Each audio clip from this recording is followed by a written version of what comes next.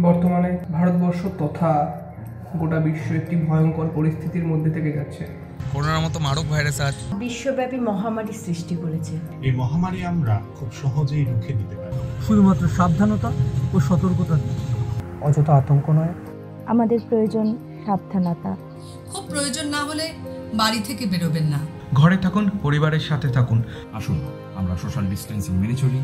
আর আমাদের দেশকে করোনা। মুক্ত করি আসুন সবাই একসাথে লড়ি পৃথিবীকে করোনা মুক্ত ভালো থাকবেন, সুস্থ থাকবেন।